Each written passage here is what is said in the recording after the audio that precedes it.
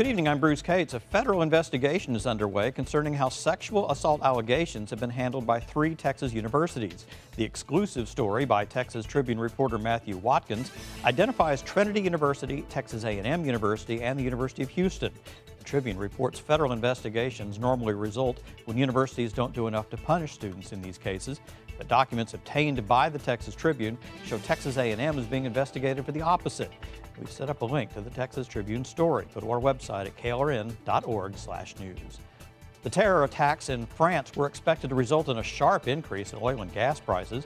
News Radio 1200 WOAI reports that's apparently not going to happen. Experts are saying the price of gasoline is expected to fall through February, with prices reaching close to $1.60 a gallon.